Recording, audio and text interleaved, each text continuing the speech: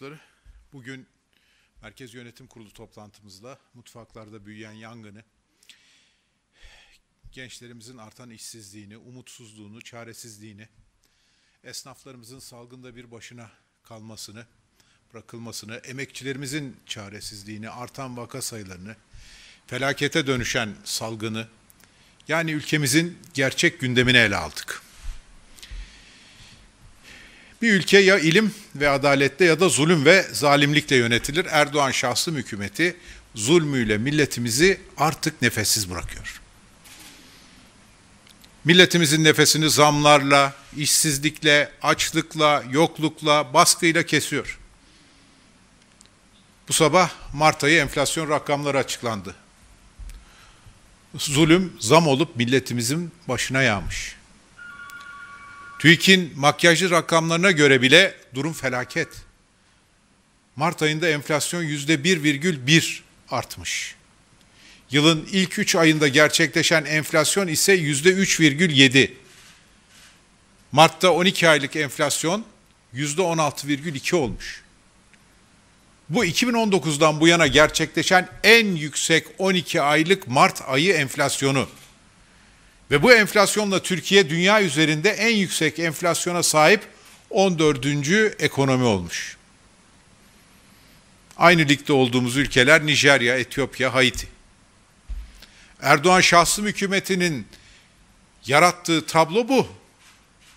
Son bir yılda benzinli otomobil yüzde 110, televizyon yüzde 89, dizel otomobil yüzde 86, bulaşık makinesi yüzde 68 zam görmüş. Türk lirasındaki değer kaybı bu ürünlerin fiyatlarını uçurmuş.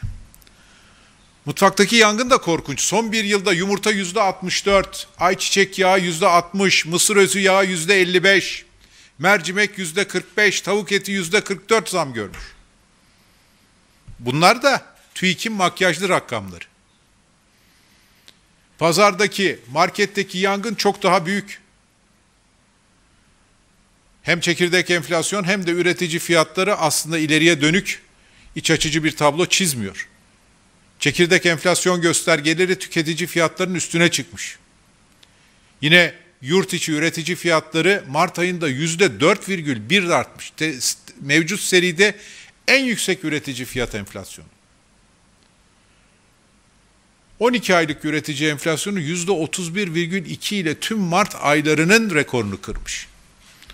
Son bir ayda Türk lirasındaki değer kaybının daha da hızlandığını düşünürsek, önümüzdeki aylarda milletimizin sırtına yüklenecek zamlar çok daha ağır olacak.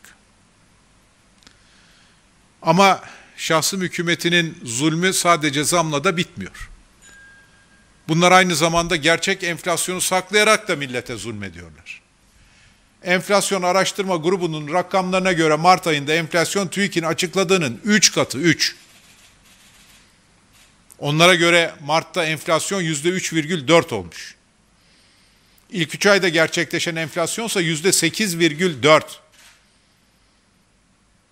Memura verdikleri %3 zam erimiş gitmiş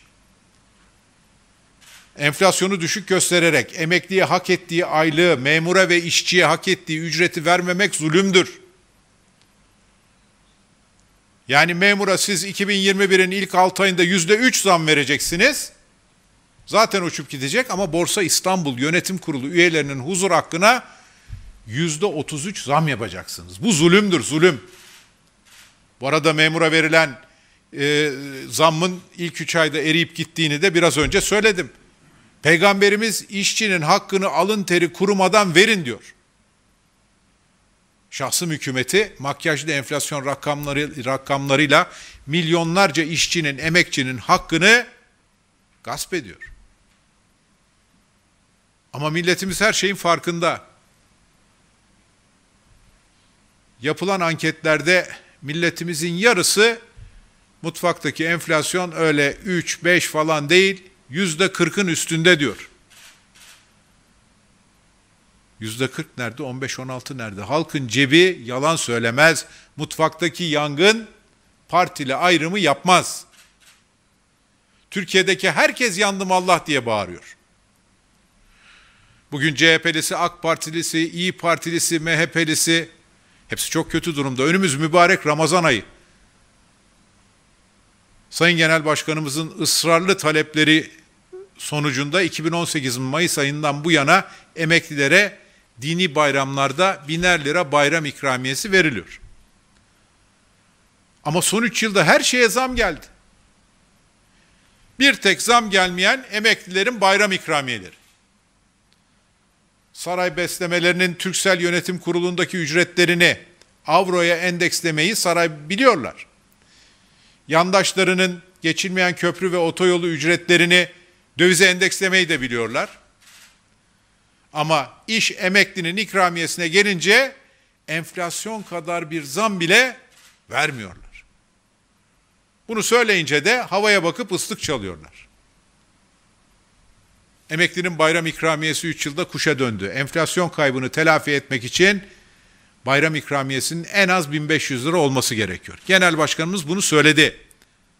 10 milyon emeklinin sesine mutlaka kulak verin. Yaparlar mı? Sanmıyoruz. Çünkü onların yandaşa hizmet etmekten, emekliye etmesinden emekliye hizmet etmelerine sıra gelmiyor ki. Bugün biz 10 milyon emeklimize söz veriyoruz. İktidara gelmeden bayram ikramiyesini size verdirdik. Ahtımız olsun iktidara geldiğimizde de hak ettiğiniz bayram ikramiyelerini yine tas tamam biz size vereceğiz. Kendi siyasi ikbalini toplum sağlığının önüne koymak da zulümdür. Türkiye Lebalep kongrelerinde katkısıyla onun verdiği, millete verdiği cesaretle dünyada salgının yeni merkez üstlerinden biri oldu. Salgının başladığı Çin bile bizim yanımızda solda sıfır kaldı. Ülkemizde günlük vaka sayıları artık 40 binin üzerine yerleşti. Bu vaka sayılarıyla dünyada üçüncü, Avrupa'da ikinci sıradayız. 4 Nisan 2021 itibariyle günlük vaka sayısında Amerika Birleşik Devletleri'nde geçtik. Yine günlük vefat sayıları da 180'in üzerine yerleşti. Salgınla mücadelede son 3 ayı bu hükümetin sorumsuzluğu yüzünden kaybettik. Bunların zulmü türlü türlü. Yandaşları için Londra'ya ambulans uçak gönderenlerin bu ülkenin sade vatandaşına hastane yatağı bulamaması tabii ki zulümdür. Aslı Özkısırlara 25 gün boyunca uygun koşullarda bir hastane yatağı bulunamamış. Neden bulunamadı? Çünkü tüm hastaneler ağzına kadar Covid hastalarıyla doluydu ya da salgın tehlikesi vardı. Aslı günlerce sesini Sağlık Bakanı'na duyurmaya çalıştı ama duyuramadı. Acaba daha Aslı gibi hastanelerde yer olmadığı için ihtiyacı olan sağlık hizmetini alamayarak yaşamını yitiren kaç hasta var? Erdoğan şahsım hükümeti ne kadar sorumluluktan kaçsa da onların sorumsuzluğunun bedelini insanlarımız canıyla ödüyor. Bu zulmün pençesi gencecik bir kadını 25 gün nefessiz bıraktı. Canını elinden aldı. Gözü yaşlı sevenlerini geride bir başına bıraktı. Şimdi Aslı'nın acılı kardeşi ablam nefes alamayarak can çekişerek öldü. Benim ablam yatak bekleye bekleye öldü diye haykırıyor. Biz bir kez daha Aslı öz kısırlara Allah'tan rahmet, ailesine ve sevenlerine başsağlığı diliyoruz. Zalimin zulmü sadece Aslı'nın boğazına sarılmıyor. Zulmün pençesi kadınların, çocukların boğazından da bir türlü çekilmiyor. Türkiye tek bir imzayla kadına ve çocuğa yönelik şiddeti önlemeye amaçlayan İstanbul Sözleşmesi'nden çıkarıldı. Erdoğan şahsım hükümeti ne milli irade dinledi ne de ahde vefa dinledi. Kadın ve çocuk katillerinin sırtı 3-5 oy uğruna Erdoğan tarafından sıvazlandı. Ama sonunda sadece Mart ayında 28 kadın hunharca öldürüldü. Bu işin başında söyledik bir kez daha söylüyoruz. Bundan sonra sesi ve nefesi kesilen her kadının canında çocuklara uzanacak her rezil elde Erdoğan şahsım hükümetinin sorumluluğu ve vebali vardır. Değerli basın mensupları, Zalimin zulmü sadece kadınların, çocukların nefesini kesmiyor. Bu ülkenin geleceği gençlerimizin de boğazını sıkıyor, nefesini kesiyor.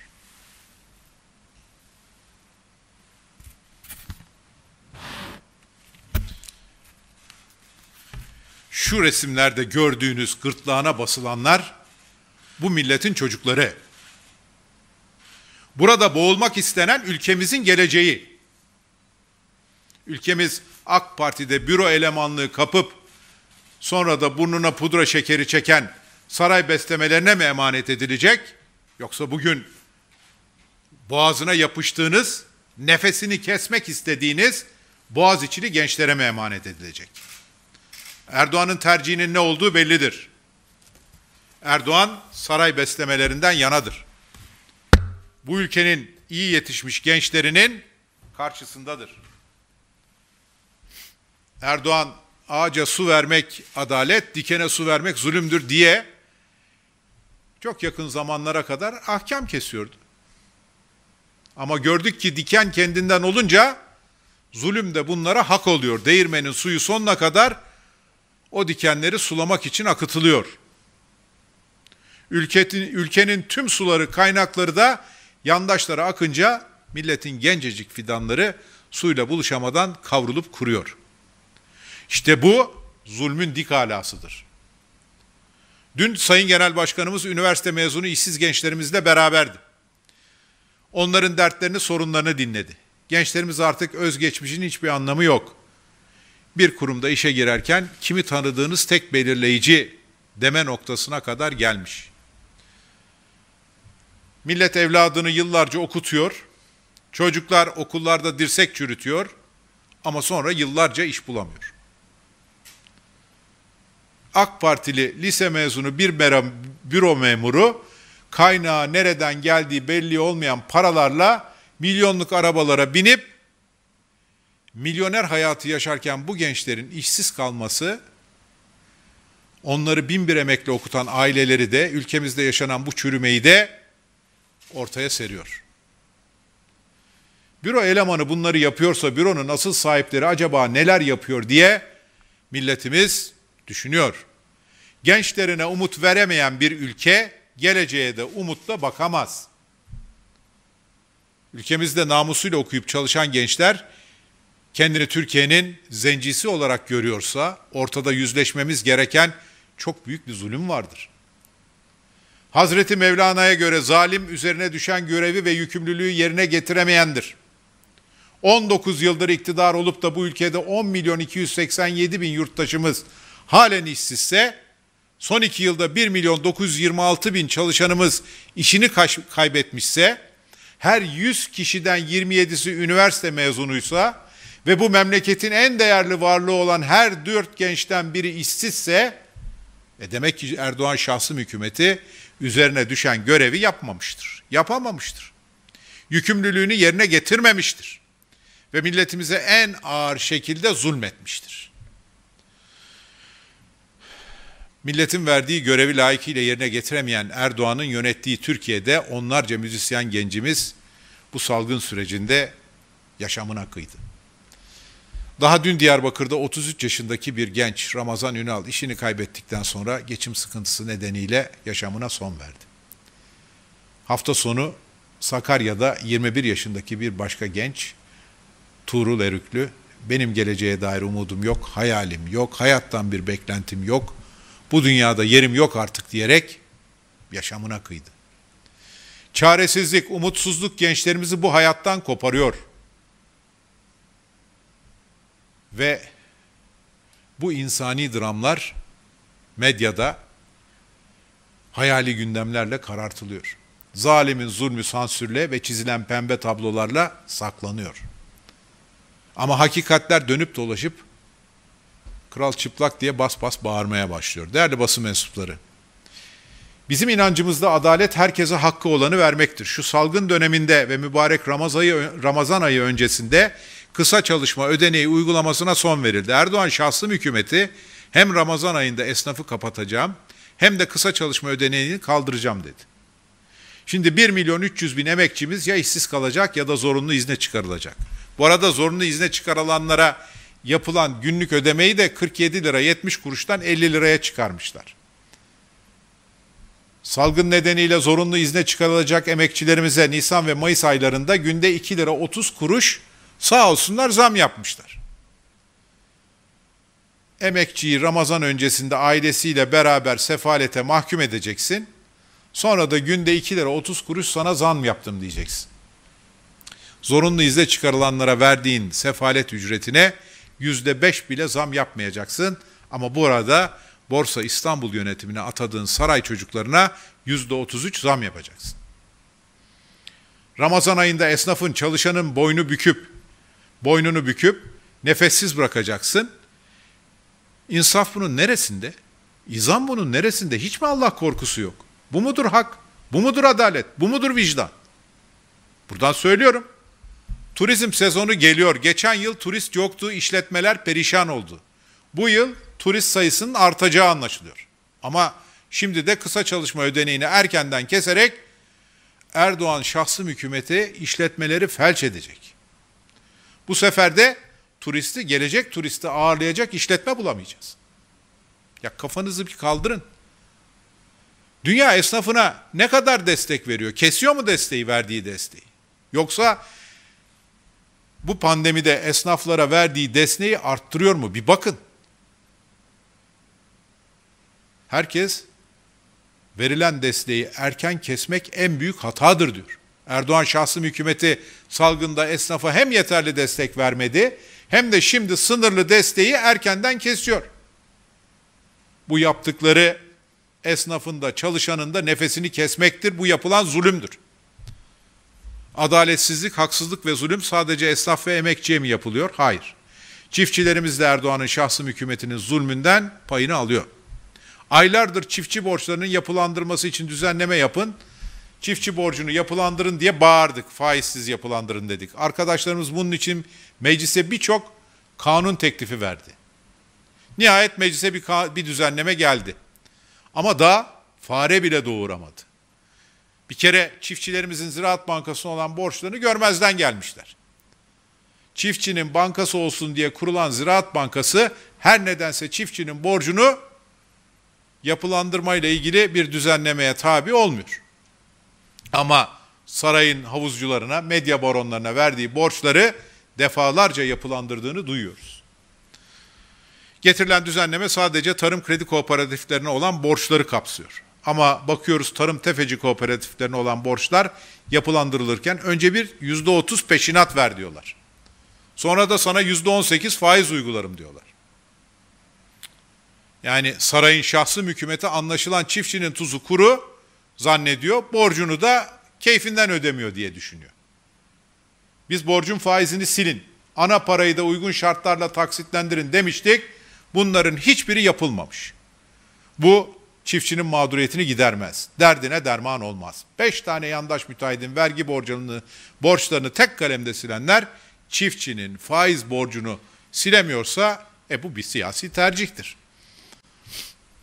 Ve bu yapılan çiftçinin boğazına sarılmaktır, çiftçinin nefesini kesmektir, zulmetmektir. Zulmün bir diğer adı Beytülmale sahip, sahip çıkmamaktır. Merkez Bankası kasasındaki 128 milyar dolar buharlaştırıldı. Erdoğan ve damadı bir oldu. 128 milyar doları har vurdu harman savurdu. Hangi yöntemle? Hangi kurdan? Milletin dövizi kimlere satıldı? Bunu soran bürokratın kafası gidiyor. Merkez Bankası Başkanı'nı yakın zamanda bu nedenle görevden aldılar. Şimdi 128 milyar doları unutacak, şahsım hükümetine sıkı sıkıya bağlı bir başkan getirerek kendilerini garantiye almış görünüyorlar. Yetmiyor, bir de duruma vaziyet etsin diye bir başkan yardımcısı ve yine saraya yakın bir banka meclisi üyesini atadılar. Atanan başkan yardımcısının kariyeri küresel faiz lobilerinde çalışmakla geçmiş. Erdoğan şahsım hükümeti dediğime bakma yaptığıma bak diyerek bu atamayla faiz lobilerine de selam çakıyor. Yine 128 milyar doların buharlaştırılması operasyonlarında bilgi sahibi olduğu bilinen bir kamu bankasının genel müdürü de görevden alınıyor. Milletin 128 milyar dolarını buharlaştıranlar arkalarında iz bırakmamak için anlaşılan mıntıka temizliği yapıyorlar. Yakında Merkez Bankası ve hazine arşivlerinde yangın çıkarırlarsa veya arşivleri su basarsa hiç şaşırmayın. Ama ne yaparlarsa yapsınlar. Bu işin sorumluları yargı önünde bu yaptıklarının hesabını mutlaka verecek.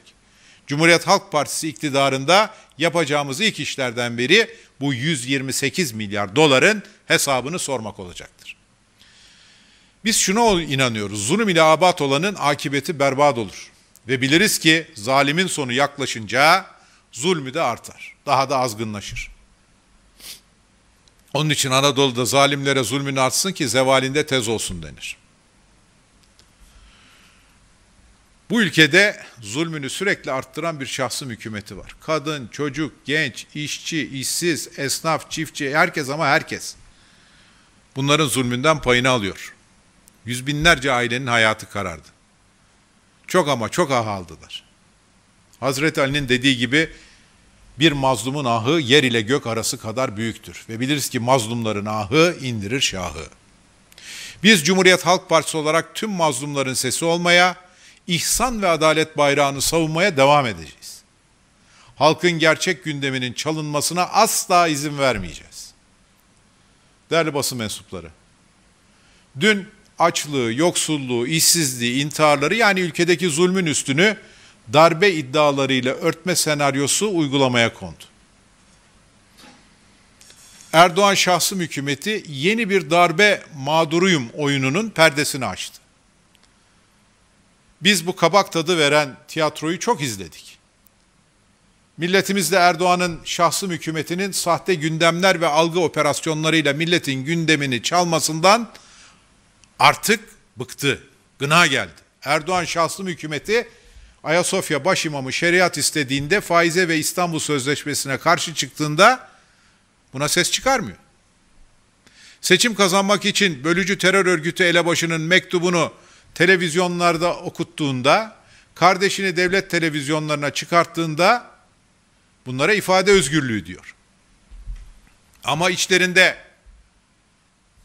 aylardır ağızlarından düşürmedikleri mavi vatanın müellifi olan Yine 15 Temmuz'da FETÖ örgütüyle göğüs göğüse çarpışmış olan emekli amirallerin yaptığı, bu emekli amirallerin bulunduğu bir grubun yaptığı bir açıklama darbe yapmak için bir araya, bir araya gelmek olarak yorumlanıyor.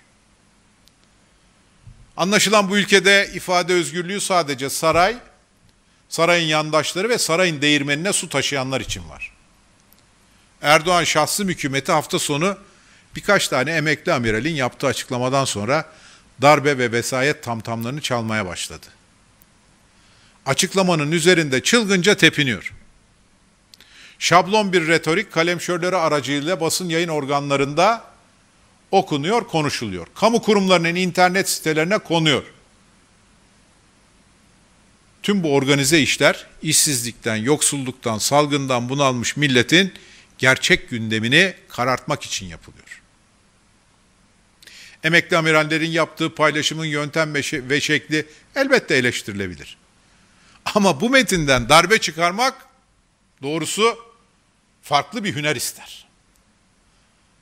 Ama 15 Temmuz'u daha unutmadık. Hain darbe girişimi herkesin hafızalarında taze.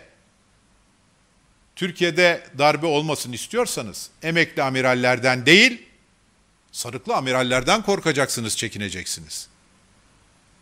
Bu ülke emekli olan, fikrini ve tecrübesini ülkenin siyasetçileriyle paylaşmak isteyen amirallerden çekmedi. Bu ülke ne çektiyse sarayın Türk Silahlı Kuvvetlerine kumpaslarla soktuğu mensubiyeti başka yerlere ait olan generallerden çekti. Ve bugün bir tarikat gitti, onun yerine diğerleri geldi. Şimdi Sayın Erdoğan'a soruyoruz. Yani sizin aklınızın başınıza gelmesi için bu ülkenin başına daha hangi felaketlerin gelmesi gerekiyor? Genel Başkanımız 15 Temmuz'dan sonra 20 Temmuz sivil darbesinden önce Yeni Kapı'da tüm Türkiye'nin şahitliğinde Erdoğan'a şu çağrıda bulunmuştu. Adliyeye, camiye ve kışlaya siyaseti sokma. Erdoğan bu çağrıyı hiç dinlemedi. Onun yerine 20 Temmuz sivil darbesini yaptı. Arkasından da tek adam, e, tek adam vesayet rejiminin düğmesine bastı. Siyaseti camiyede, kışlaya da, adliyede acımasızca sokmaya devam etti. O gündür bugündür de bu tahribatın sonucunda yaşanan devlet krizinin neticesinde milletimizin iki yakası bir araya gelmedi. İşsizlik çığ gibi büyüdü. Aşımız küçüldü. Ülkemizin bereketi kaçtı. Bu çağda demokrasiyle yönetilmek bir ülkenin en büyük onurudur. Ancak tek adam vesayet rejiminin düğmesine basıldıktan sonra gördük ki millet iradesine darbe sadece asker postalıyla yapılmaz. Millet iradesi Mokosen'le de ayaklar altına alınır. Millet iradesine darbe 2015'te Haziran seçim sonuçlarını tanımayarak ardından milletin güvenlik endişelerini kaşıyıp seçimleri tekrarlatırıp tekrarlatarak da olur. Millet iradesine darbe bir önceki seçimde halkın yüzde 49 buçuğunun oyunu almış bir başbakanı ince bir saray darbesiyle istifaya zorlayarak da olur.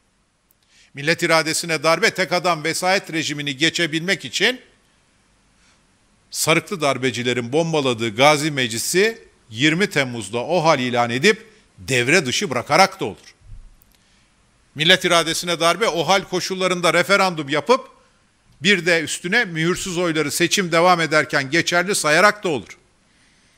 Millet iradesine darbe 2019'da İstanbul Büyükşehir Belediye seçimlerinde kaybettiği seçimi mızıkçılık yaparak yandaşı hakimler eliyle tekrarlatmakla da olur. Millet iradesine darbe meclisten oy birliğiyle geçen bir uluslararası sözleşmeden ülkeyi tek bir imza ile çıkararak da olur. Millet iradesine darbe Türkiye Büyük Millet Meclisi'nde reddedilen bir yasa teklifini meclisin kayyum başkanına iç tüzüğü çiğneterek yenel, yeniden genel kurula getirterek de olur. Milletin millet iradesiyle yapılan millet iradesine yapılan bu darbelerin hiçbiri asker postalıyla yapılmamıştır. Bu darbelerin hepsi Erdoğan'ın ayağındaki mokasenle yapılmıştır. Cumhuriyet Halk Partisi olarak darbelere karşı tavrımız son derece nettir. Bunu tarih ve millet huzurunda bir kez daha buradan ilan ediyoruz. Biz darbenin her türlüsüne karşıyız. Postalla yapılan darbeye de karşıyız. Mokosen'le yapılan darbeye de karşıyız. Milletimizin hakkının, hukukunun her zaman yanında olacağız. Milli iradenin daima savunucusu olacak. Olacağız. Hegel'in şu sözlerini paylaşarak bir bardak suda darbe fırtınası koparanları uyarmak istiyoruz. Bütün tarihsel büyük olaylar ve kişiler hemen hemen iki kez yinelenir. İlki trajedi olur, ikincisi ise komedi. Milletimiz emekli amirallerin açıklamasından darbe çıkarma tezgahının bir trajedi değil, komedi olduğunun elbette farkındadır. Milletimiz Erdoğan şahsım hükümetinin darbe simsarlığından artık bıkmıştır. Yaşanan komedi sadece şahsım hükümetinin çaresizliğinin, koltuğunu korumak için yaptığı şımarıklıkların bir başka tezahürü değildir. Bu aynı zamanda meclisin kayyum başkanının önce ifşa ettiği, bizim şiddetle karşı çıktığımız Montreux tartışmasında Montreux Sözleşmesi'nden çıkılmasın diyenlere bir gözdağıdır. Kanal İstanbul üzerinden okyanus ötesine göz kırpmaktır.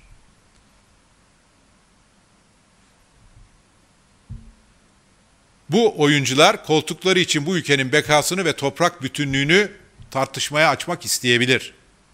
Ama milletimiz buna izin vermeyecektir.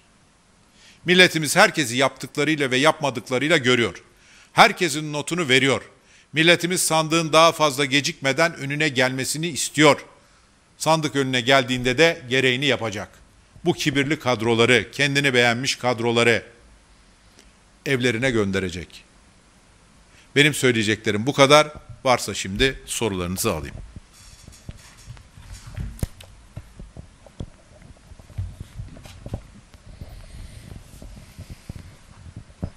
Efendim Doğrusu Haber'den Büşra Taşkıran. Ee, Montreux Bozlar Sözleşmesi hakkındaki bildiri sonrasındaki emekli amirallerin gözaltına alınmasından sonra CHP'nin bir yol haritası var mı? Ne yapmayı planlıyorsunuz? İkinci olarak da sorum, e, 98 eski CHP'li vekil de Montreux tartışması açılamaz ifadelerini kullandı. Bir açıklama yaptı.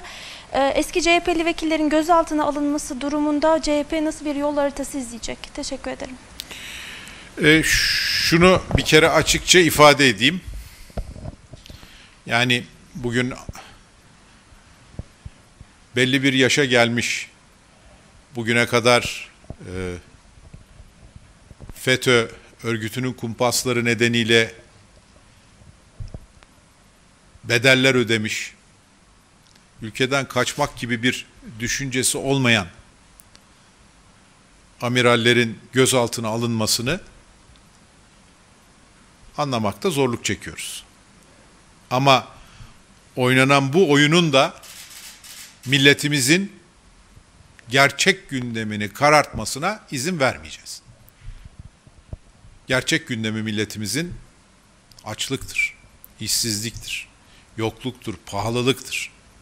Gençlerin işsizliğidir. Pandemide pandemiye yakalansın yakalanmasın yaşamını kaybeden insanlarımızdır.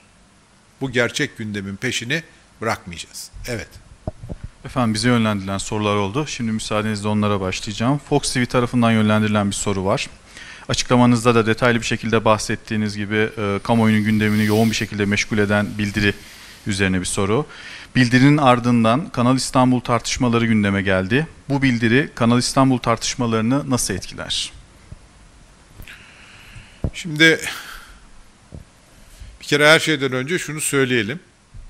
Yani biz iktidara geldiğimizde bu ucube projenin yapımcılarına paralarını ödemeyeceğiz. Bu projeyi kim istiyor? Anketlere bakıyorsunuz. Millet istemiyor. İstanbullular istemiyor. Montreux Sözleşmesi'nden Kanal İstanbul'a yol döşemek, gerekçe üretmek aslında rant sevdasıyla sarhoş olmuş bir zihniyetin ürünüdür. Ve okyanus ötesine selam göndermektir. Efendim bir diğer soru da Halk TV tarafından yönlendirildi. Soru şöyle. Üzerinden 15 gün geçti.